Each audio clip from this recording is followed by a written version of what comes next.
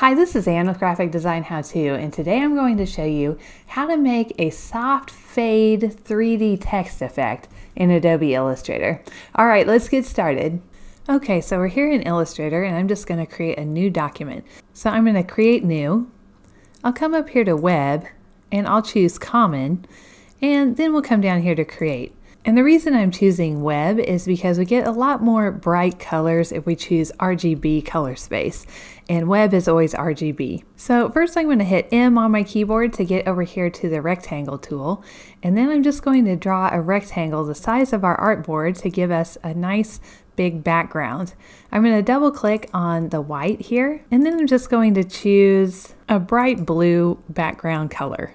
And we'll say OK. Next, I'll hit T on my keyboard to get to my text tool, which is right over here, type tool technically. And I'll click once, and I'm just going to type soft fade. Now it's really small, so I want to make it bigger. I'll get back on my selection tool, and I'll get on a corner. I'll hold shift and I'll drag it to be much bigger. I'm going to choose a big chunky font and the one I like a lot is Bimeo. Now Bimeo might not be available on your computer, so if it's not, just choose a thick bold font for this. And I think I need my background to be a little lighter, so I'm going to click this again. And I'll change it to more of a greenish tone, something around here. Okay, I'll get back on my text and I'm going to go to my appearance palette. Now, if you're not seeing this panel or any of these panels and you want to have them open, you can just come up here to window and they'll all be right in here. So appearance is right up here at the top. Now I want to add a gradient to this text and to do that, I can't have the fill in characters. So if I double click characters, you can see it's right here. I'm going to click this and just delete it. So now I'll click on type and then I'll add a new fill you'll notice that it's in type instead of characters. And now we can add our gradient. So I'll come up here to Window, Gradient. And I'll just click on this bar. Now I want this gradient to go from top to bottom, so I'm just going to set this to 90%. And then I want to flip it because I want the lighter color on top, so I'll choose this reverse gradient button. So now we have our white on top and our black on bottom. Now the top color, I actually want it to be the same as the background color. So I'm going to get my little color picker here and just click it. I'm going to pull my swatches out and I want to add this color to my swatches. So I'm just going to click new swatch right down here at the bottom. I'm going to make sure global is checked and we'll say OK. I'll double click the darker side. If you see you only have black to pick from on this top button, you can come over here and choose RGB and then you get some color sliders. I'm liking something right about there, maybe not quite as dark.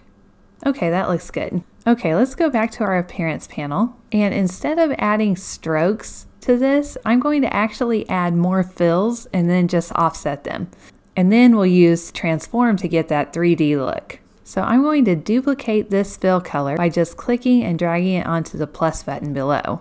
Now on the lower fill, we're going to offset this. So to do that, go to Effect, Path, and Offset Path. And I'm just going to offset it by about 9. If you have preview turned on, you can see what it's going to look like. we're going to make this quite a bit darker. So I'm going to double click this and we'll put it right down somewhere like this, but I think I want it to be kind of a more purpley color. That one looks good. So we'll say, okay. Now we've got sharp corners on everything. I think I want to change those to round. So I'm going to click on my offset path again. I'll change the joins to round here. Okay, I like the way that looks a little better. Now I'm going to click the fill again, and this time I'm going to transform it. So we'll come up here to Effect, Distort and Transform, and Transform. Make sure Preview's checked. I've got my horizontal number highlighted. I'm just going to hit my down button to see what happens. I'm going to change my copies to, let's do seven copies. So this is how we get the 3D look. So that last copy has been horizontally scaled this far. You can kind of see it there. So we also want to move it a little too. We want to move it vertically. I'm going to hit my up arrow and I think 3 looks pretty nice.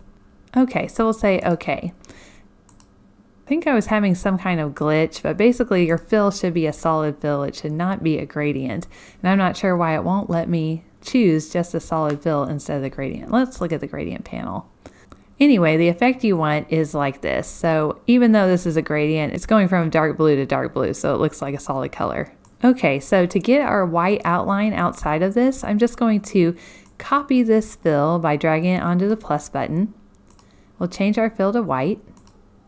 I'll click on offset, and this time I'm going to do about 16, maybe a little more than that.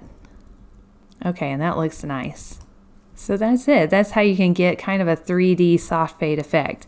Now we can try some other fonts with this. So I'll make some copies. I really like um, Baby Olivia for kind of a cutesy look, or Sherry. That is also a pretty playful one. Or this Alberto regular one. If you notice that some of the letters are a little too close together, you can put your cursor between them and then hold Alt or Option and then arrow to the right or left.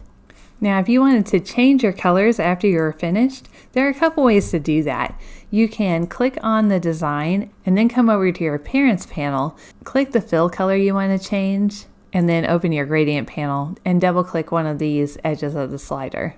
Another way to change the colors all at once is to come up here to recolor artwork. And if you don't see this bar at the top, that is under window control right here.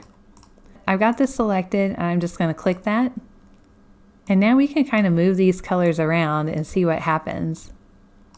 You can also unlink the harmony colors and move them around individually if you want.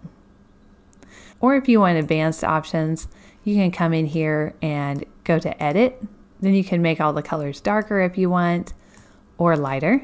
Although if you're not used to this, um, you can end up with some pretty crazy color patterns. Oh, that's much better. There we go. And we'll say okay. Alright, if you like this video and you want to see more videos like this, just hit the subscribe button and the little bell next to it and you'll be notified every time a new video comes out. Alright, I'll see you in the next video. Thank you!